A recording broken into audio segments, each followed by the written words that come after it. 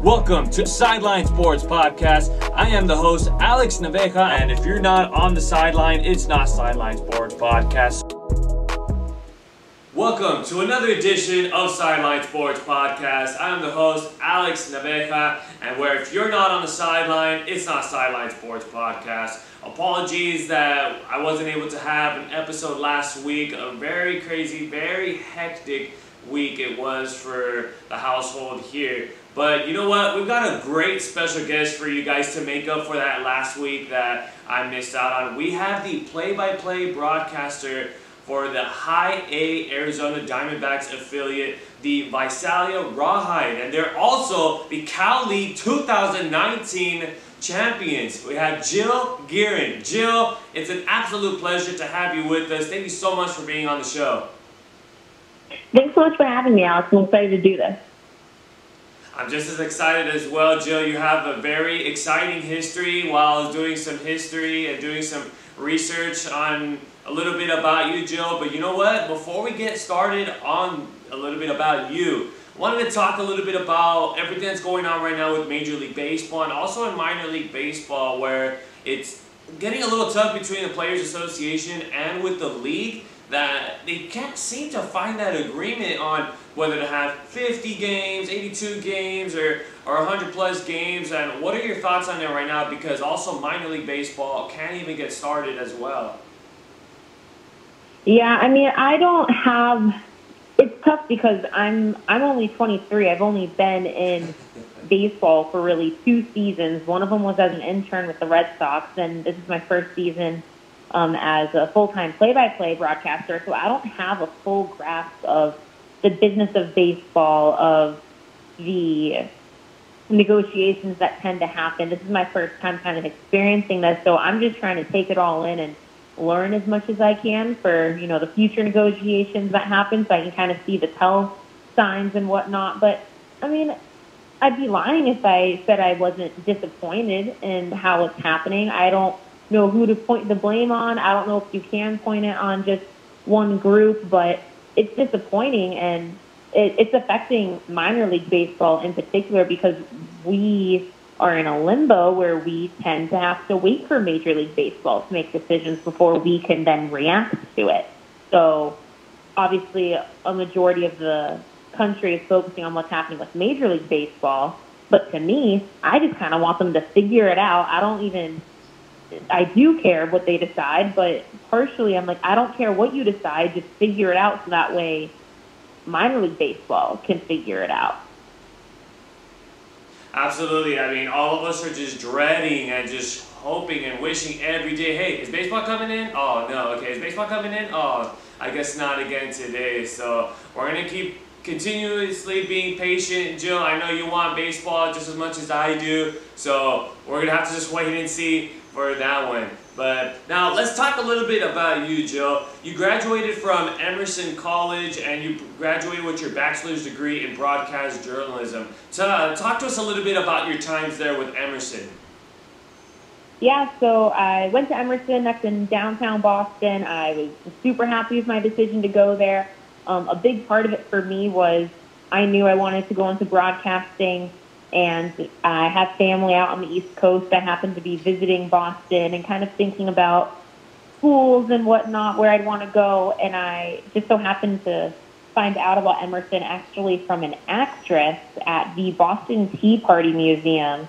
And she mentioned, oh, Emerson has a really good journalism program. And I looked into it more and I said, oh, I could play softball there too. It'd be awesome living in Boston. And the rest kind of went from there where I had my um, official visit and whatnot. And yeah, started there in 2014, graduated in 2018 with a bachelor in uh, bachelor's degree in journalism with an emphasis in broadcast, minored in sports communications, and had a emphasis in marketing. So I had a great time there. Um, I loved playing softball for the Lions, and I'm so happy with my decision to go there. So not only were you the athlete, but you even also got to cover the athletes as well. And I mean, after you graduated from Emerson, you even got to cover the Boston Red Sox. And, you know, doing a little bit of background, it I found a little story that was talking about how when you were little, you said that you wanted to be in the booth and even broadcast for the Boston Red Sox. And look at you, you you got to cover the Boston Red Sox, and it ended up being when they won against the Dodgers. I'm still a little hurt from that one myself, Jill. So. So you got that privilege, you got that opportunity. Please tell us for the viewers that don't know and even know what that feels like to even work for that team you've always wanted to broadcast for. Yeah, I mean, so grew up a Red Sox fan. Again, I have family from the Boston area. My dad's from Lawrence, Massachusetts. And I grew up a Red Sox fan. I said during my eighth grade graduation speech, I'm going to be the broadcaster for the Boston Red Sox. And, you know, of course, everyone's laughing. Here's this 13 year old girl saying she's going to do that. But, I mean, eight years later, I ended up being in the radio booth with Tim Neverett and Joe Castiglione, and I was helping them, not exactly helping them broadcast the games, but I was giving them statistics. So I was the booth statistician intern, and what I did was before games, I would be in the clubhouse gathering sounds for the post game or pre-game show um, getting any information I could for Joe or Tim. I would start writing notes, reading as much as I could about that matchup, that game, everything going on. And then, then during the game, whenever something interesting happened or I had a note to give them, whether it was a statistic or a story, I'd hand them a post-it card with that on there. So it helped enhance the broadcast a little bit. At least I hope it did.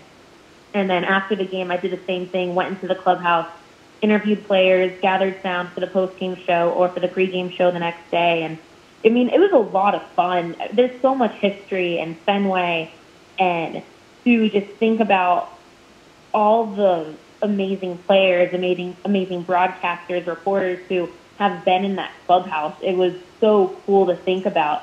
And yeah, like you said, I made it. That's, I mean, I didn't make it as a broadcaster, but I, I completed my, my dream. My dream when I was 13 was to cover the Red Sox. And it was, it was awesome that I got to do that. And, you know, the cherry on top was I got to cover a World Series championship team. Not many people get to say that they did that. So, I mean, I'm super fortunate and lucky to be where I am at just 23. Oh, absolutely. To be 23 and to be able to already accomplish that and be a part of a World Series team, I already feel like you've already accomplished a lot in life right there, Jill. Already big time plans right there. What kind of people did you get to meet and as far as like what were the experiences like being up there in the booth? Yeah, I mean, it, it was great. So, first of all, I got the internship because of Tim Neverett. He actually graduated from Emerson College um, I think it was back in 88. He's going to kill me if I got the year wrong and I call him older than he is. But I think it was in um, 88 he graduated and he wanted this internship to be specifically for Emerson students. So it was myself and Matt Kuchar. We split off um, home games covering and helping them for the Red Sox. And I mean, I got to meet some amazing people, whether it was beat reporters, um, you know, sports reporters for the local TV stations. Uh, the other broadcasters were the big part for me that I wanted to meet them, especially the women. So Jessica Mendoza, I fangirled so hard when I met Jess, just because I grew up watching her play softball, and she was such an icon to me. So definitely fangirled when I met her, and Suzyn Waldman with the Yankees. I mean, again, both are just legends, and I just look up to them for um, how much they have to deal with and how they really did blaze a trail for me and have made it easier for me to do what I do. All right, you talked a little bit about fangirling Jessica and also Suzyn. What were your first reactions? Because they definitely made the trip over to Fenway. So, what were your first reactions meeting her? Um, so Tim made Tim always told me if you want to meet someone, let me know. And I told him Suzyn and Jessica, like those are my two. And so when he said, okay, let me grab Jess for you. And I mean, I'm talking butterflies in my stomach, like sweaty palms. I had to shake her hands. I'm like, oh God, she's going to think I'm a spaz I'm sweating so much. But she was just so nice and so down to earth. And her and I still correspond a little bit um, through emails and stuff and keep in touch. And she was just so amazing. And the fact that we were able to talk about softball and talk about her experience of that and how she was able to incorporate playing softball into her broadcasting and how maybe I can try to do that. Obviously, I'm not an Olympian. I played D3 softball, so it's not the same, but I can maybe incorporate um, things just like she did. So it, it was just really cool to talk to her about all of that. How about with uh, Suzyn? Did you get the opportunity to meet her as well? Yeah, so Suzyn, I got to meet her kind of briefly. She was kind of running all over the place. Um, so I initially met Suzyn, and I wasn't scheduled to work that day, but I told Tim I want to meet Suzyn, and it was the first time she was going to be in town, and he said, "Yeah, just go ahead and come, and you can hang out for the game, and I'll make sure that you meet her." And it was she had to run to do her pregame show. We met briefly, and I made sure to come back and talk to her the next series that she was in town, and um, she just gave me great advice, and I was able to. I mean, she's been doing it for so long that she's. I just wanted to absorb all the wisdom possible from her, and she gave me great advice about how to interact with the players and how to use being a woman to my advantage. And the best, I think the highlight of my internship was I found out I got the job with the Rawhide in October, and that happened to be during the ALCS, Red Sox versus Yankees. Both Jessica and Suzyn were covering um, one for ESPN Radio, Suzyn obviously for the Yankees, and I got to tell both of them that I got a job as a minor league baseball broadcaster, and they both gave me the biggest hug ever and congratulated me. And you know, they were excited not only for my career, but there's another woman that they can add to the list of broadcasters because it's not that long of a list in baseball. So it was it was a special moment that I was able to share with the both of them.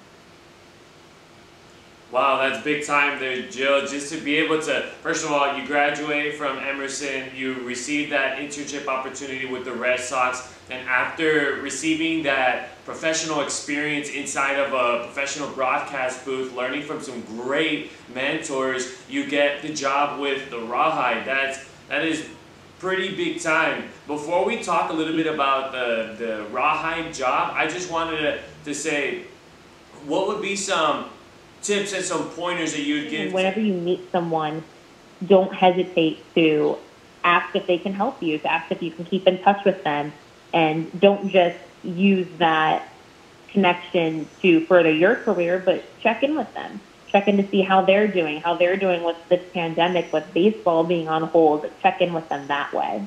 So long answer of what my advice, but definitely focus on your networking. Well, advice taken, Jill. I would definitely take note of all the advice that you have given me. But we're going to go ahead and take a mm-hmm. quick break. When we come back, we're going to talk about Jill's first season with the Visalia Rawhide, how that went, and how she made history in minor league baseball. Where if you're not on the sideline, it's not Sideline Sports Podcast. We'll be right back. This is Jacob Huey, first baseman for the Long Beach State Dirtbags, and you're watching Sideline Sports Podcast.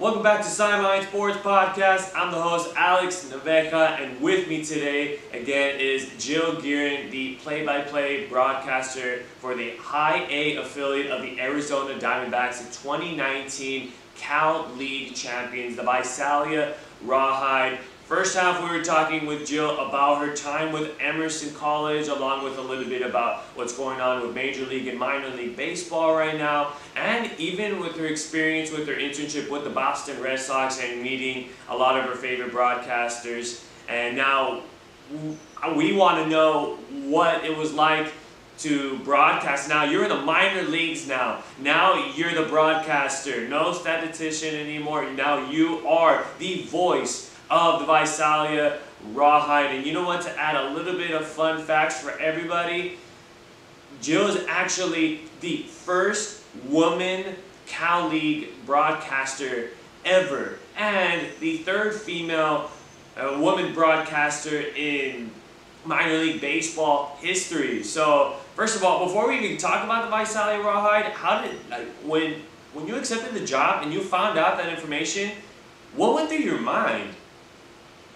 Yeah, I, when when I found out when I was applying for jobs, I knew there weren't very many women, and I kind of knew um, that there were only two others, Emma Tiedemann and um, Kirsten Karbach, and like, it, it, it, yeah, there's pride. I mean, great. I'm helping other young girls become a broadcaster, maybe trying to help them navigate it by blazing my own path. But I mean, yeah, as much as I'm excited about that, it's more what the heck. It's 20. It was 2019 when I took the job. How was there only three girls total that have ever done this? It, it, it was more just disbelief. Disbelief.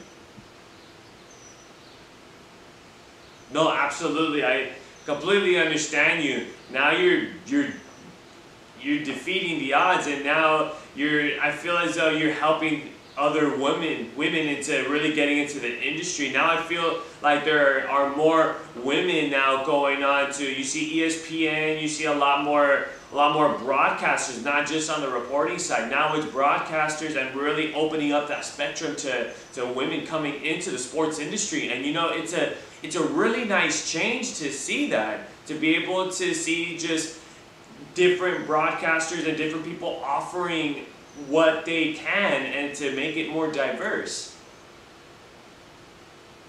Right. It to me, I don't know if girls, young girls thought, "Oh, I can't do that because of gender norms and whatnot." But I think it was more they never thought that they could do that because they'd never seen many other women calling play-by-play. It was mainly sideline reporters, and sideline reporting is very difficult. I've done it before. Um, it's it's such a difficult job, but for some reason, a majority of women tend to go towards that career, and play-by-play tends to stay male. And so, with my hope, my hope is that with myself doing this, and there's a few other women coming through soon in minors, I hope that there's just going to be more representation, which then allows young girls to see that it is a possibility that they can go and do that. Because I do believe that when you see someone who sounds like you, that looks like you doing a certain job, you then believe that you can do it too. I agree with you, Jill. I've had my fair share of broadcasts where I've had I've had a woman along my side. And you know what? We've actually clicked very nicely and we've actually put up some very great broadcasts. I mean, I've had some summer leagues where I've had I've had a, my friend. I remember my friend Kayla. She wanted to be on the broadcast, and I invited her onto the broadcast booth, shared her baseball knowledge. And you know what? That that nine that nine inning game went by so quick. I said, "Wow, it's over already." So there's I, I, I would wish that all women would just say, hey, you know what, I want to be in the booth as a broadcaster and nothing's going to stop me. So I absolutely agree with you there, Joe. Yeah, I mean, it's, I think that there is a different perspective that women can bring and you just have to kind of wait and listen for the woman broadcaster to tell their story, to tell the story of the game because I think there is a different perspective and it's great to have both. And I'm excited that more women are going into this profession. Absolutely. Jill, you uh, you have Lady Luck on your side. First of all, to be a part of a championship team with the Boston Red Sox, now to be a part of a championship with the Visalia Rawhide. Tell us, now to be a part of two championship baseball teams and just to be a part of that year. How did that how did that make you feel and how did that first year as being the Rawhide broadcaster go? Yeah, I mean being a part of two championship teams was pretty awesome. Um, there's no other way to describe it. And you know, 2019 definitely is much um, more important in my heart um, despite growing up a Red Sox fan, it was great seeing that. Being a part of this 2019 Visalia team was so much fun to watch, just to see how many players came through. I think we had over 50 players at one point on the roster come through, and we had over 100 transactions. It was just a crazy year in terms of turnover, but they were always good. They were first half champs second half champs, and the Cal League champs. And there was a 14 game win streak in April, and the Rawhide were the first minor league team to clinch a playoff spot, and that was on June 4th. I mean, that's unheard of. So it was it was just such a special season and a special group of guys. It was it was so much fun, and you know, and you know from broadcasting, it's a lot more fun to cover a team when they're winning. So they definitely made my life a lot easier by winning and being a good group of guys. But my first year was awesome. You know, there's definitely ups and downs with learning curves and getting used to a new team, new coaches, a new league, um, a new front office.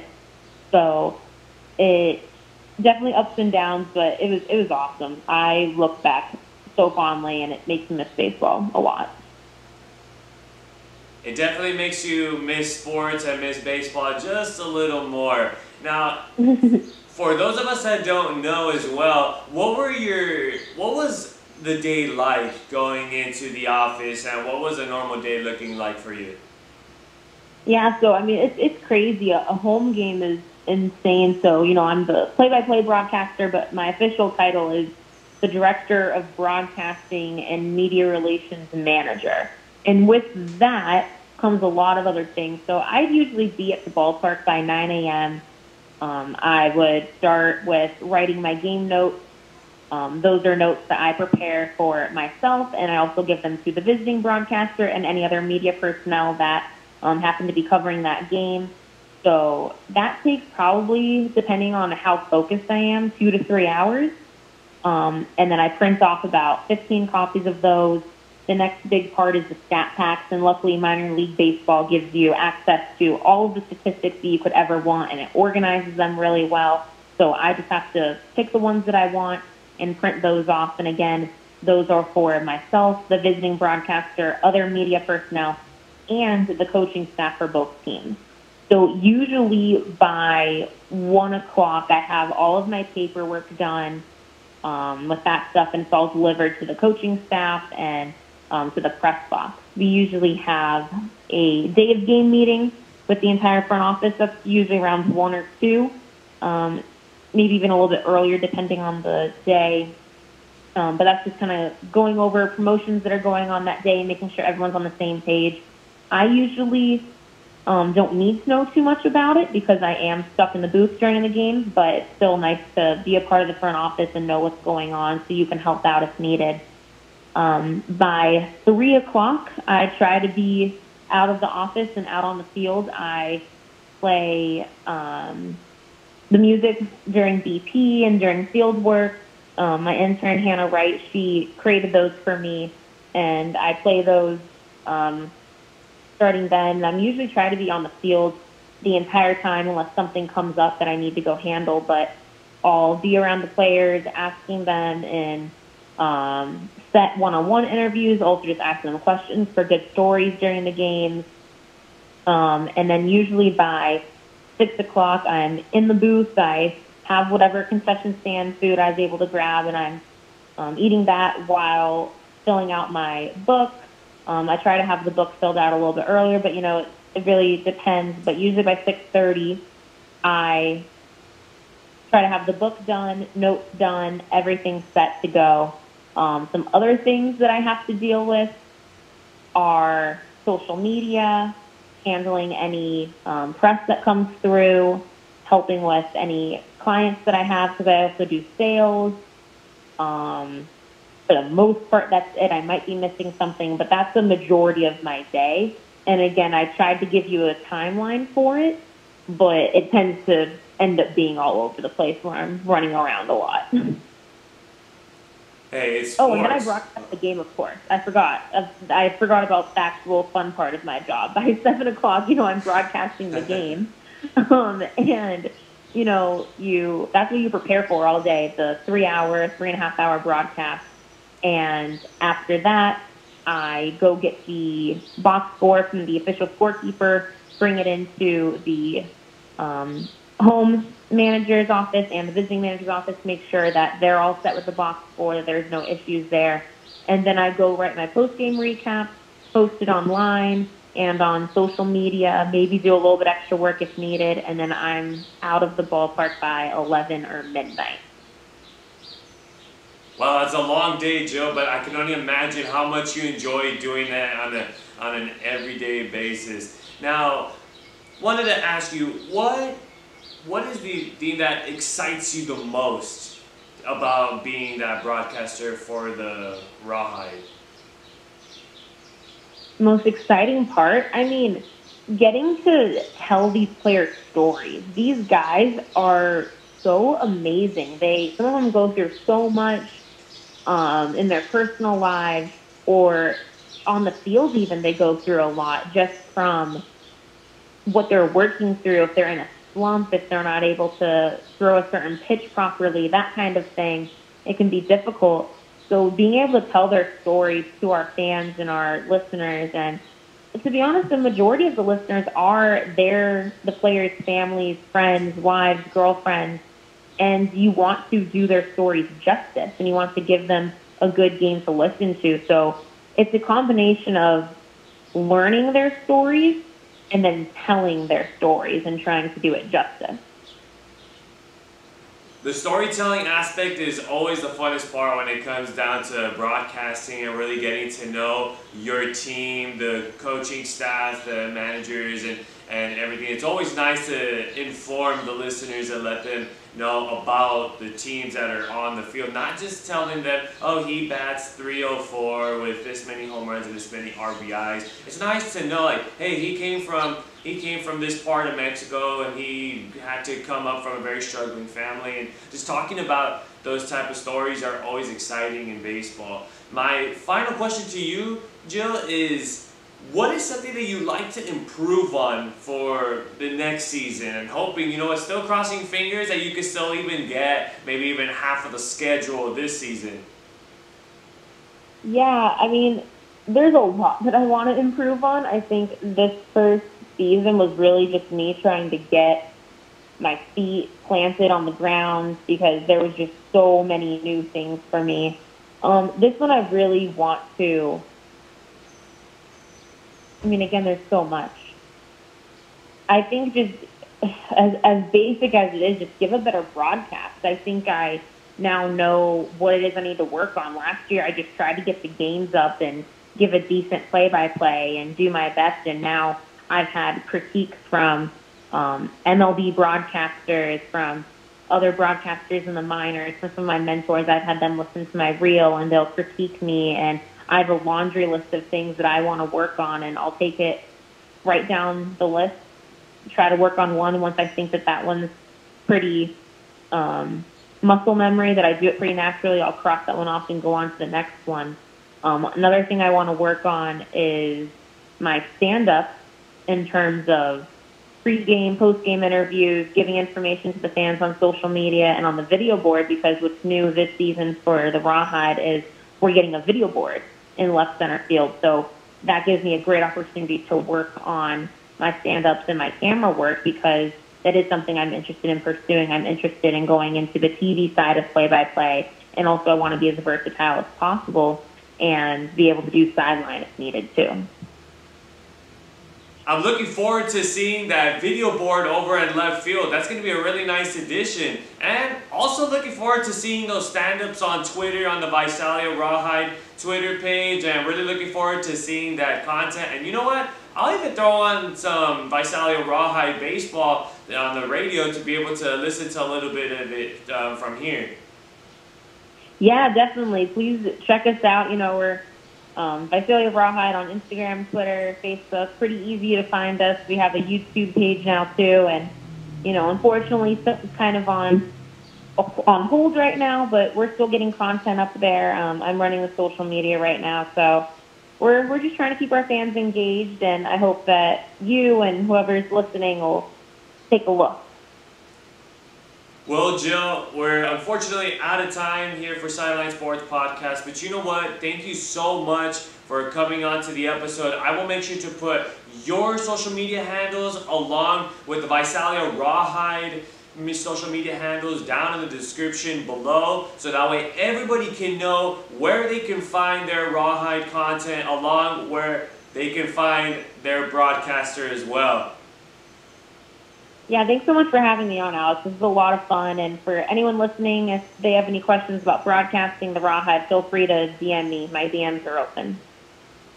Absolutely. We'll make sure to put the social medias down in the description below. And of course, if you guys enjoyed this content today, make sure to give this video a thumbs up. And if you're also enjoying the guests like Jill Gearin, make sure to hit the subscribe button because Jill is only the beginning of the many great guests that we're going to have on the podcast. And make sure to hit the notification bell as well. And of course, I was the host, Alex Naveja, and with me today again was the High A minor league broadcaster for the Arizona Diamondbacks affiliated Visalia Rawhide in Jill Gearin. Thank you so much for tuning in. Have a good day, everybody, and of course, make sure to stay safe.